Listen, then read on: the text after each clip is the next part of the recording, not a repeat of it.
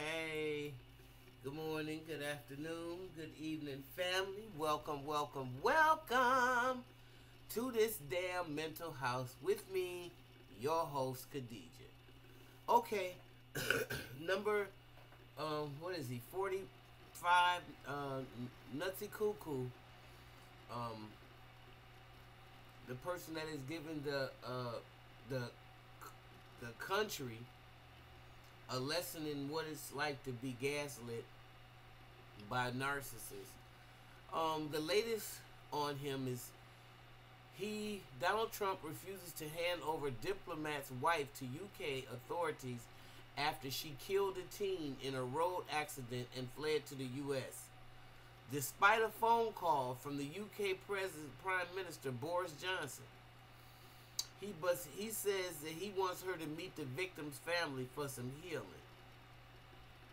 Harry Dunn died after being knocked down outside the U.S. intelligence base in the United Kingdom. The wife of a spy who allegedly knocked him down after later fled the United Kingdom for the United States. Anne Sacoolas, 42, had diplomatic immunity as a result of her husband's work. Boris Johnson phoned the president to ask for diplomatic immunity to be waived. Trump spoke publicly about the case for the first time and rebuffed Mr. Johnson's plea. Instead, he suggested that he'd help arrange for a meeting between the families for some healing. He also said that he had driven on the wrong side of the road, and you know, you have to be careful when you're in London. A lot of us ain't used to. Donald Trump today publicly rebuffed a plea from Boris Johnson to waive diplomatic immunity for an American woman suspected of killing British teenager. Instead, suggesting that the victim's family meet her in the U.S. for some healing.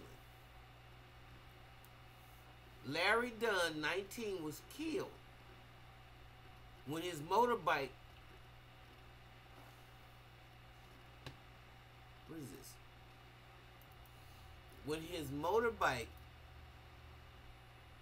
Lord have mercy, I can't believe this, um, crashed into a car on August 27th, and the suspect in the case, 42-year-old Ann Sacoolas, is reportedly married to a U.S. intelligence official, fled to the U.S. despite telling the police that she wouldn't. His family have been desperately trying to ensure Mrs. Sacoolas's the return to the UK to participate in the police investigation. And this evening, Mr. Johnson urged the president to help ensure uh, her diplomatic immunity is waived. It has been suggested that the vehicle which hit Harry had been traveling on the wrong side of the road after pulling out from a RAF Croughton in North Hampshire.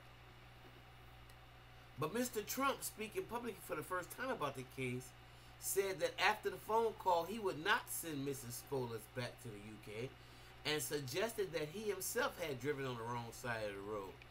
And he added, well, you know, that can happen.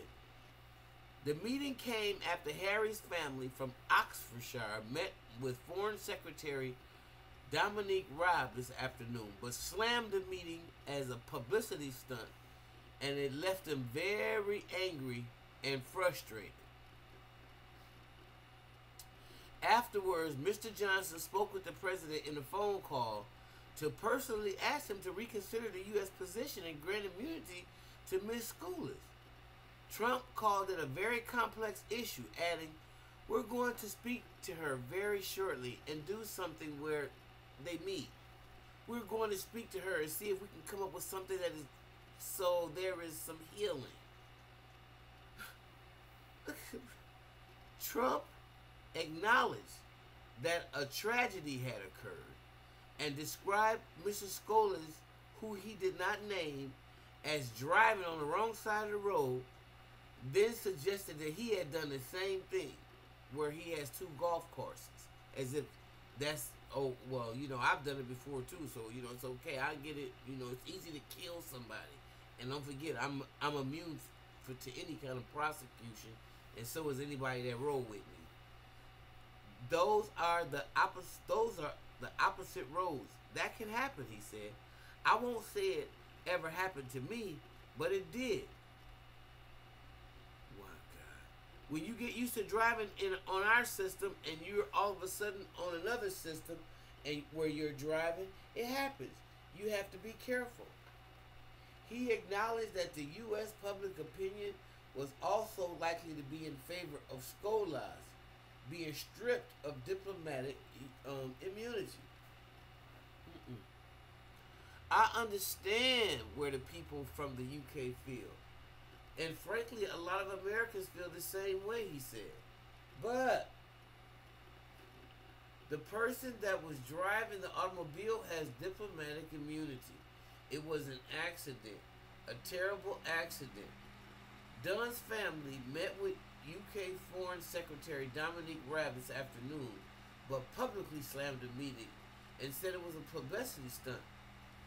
A Downing Street spokesperson revealed conversation between the Prime Minister and Mr. Trump, and that they did they confirmed they did have taken place. He said the two leaders discussed the tragic death of Harry Dunn, 19. The Prime Minister urged the President to reconsider the U.S. position so the individual involved in the crash could return to the UK, cooperate with the police, and allow Harry's family to receive justice.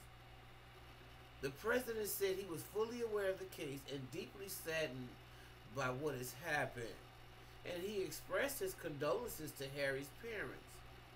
The leaders agreed to work together to find a way forward as soon as possible. This afternoon, Mr. Raab met Harry's mother, Charlotte Charles, and father, Tim Dunn, who earlier said that they had been in limbo after Mrs. Sacoolas had fled to the U.S. But speaking after the meeting, Harry's mother, Charlotte Charles, said, I'm disgusted and feel like I've been let down by both governments.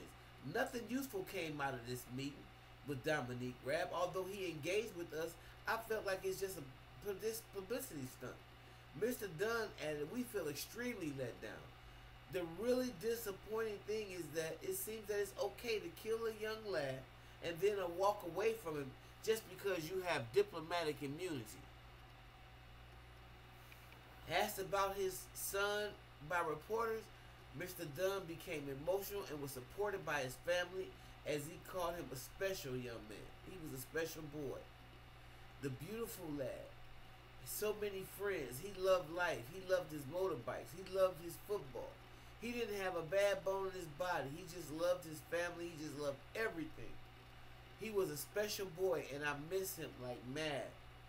The couple were accompanied by their lawyer, Radd Seiger, who echoed the Dunn family disappointed at the outcome of the meeting with the Raab with, with Mr. Raab. Giving a statement on behalf of the family, he said, to say that we are disappointed with the outcome would be an understatement. We are frustrated and we are angry. He added, before the meeting, we were led to believe that something positive would come out of this. But all Mr. Raab made clear to us is that the American insists that Mrs. Sacoolas has full diplomatic immunity, and under no circumstances are they going to grant a waiver. Our position is that she does not have diplomatic immunity and must return to Britain to face the consequences of her actions. Wow. And I and I agree. Mrs. Charles also said, I can't really see the point we were invited to see Dominic Raab. We are no further forward than we were in this time last week. Although he is engaging with us, we have no answers. We are really frustrated that we could spend half an hour or more with him and just come out with nothing. The lawyer for Mrs. Dunn's family said that they were engaging lawyers to take a civil case against Ann Sacoolas in the U.S. Our position is that she doesn't have immunity and that the waivers are always granted in these circumstances, Radd Seiger told reporters in Westminster on Wednesday. Now we can disclose to you we have brought lawyers on board.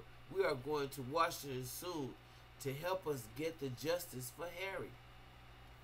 The Dunn family have hired leading lawyers Mark Stephens and Geoffrey Robertson, who specialize in diplom- di- diplomatic law. Central to their case is the issue of what level of diplomacy immunity Mrs. Sacoolas actually had and his family had, if any at all. Her husband was an intelligence official at the RAF Croughton, but did not appear on the list of diplomats in the UK with immunity. Mm, he didn't appear on that list. Wow. Mr. Seiger also has invited U.S. President Donald Trump to have a conversation with the family about this issue.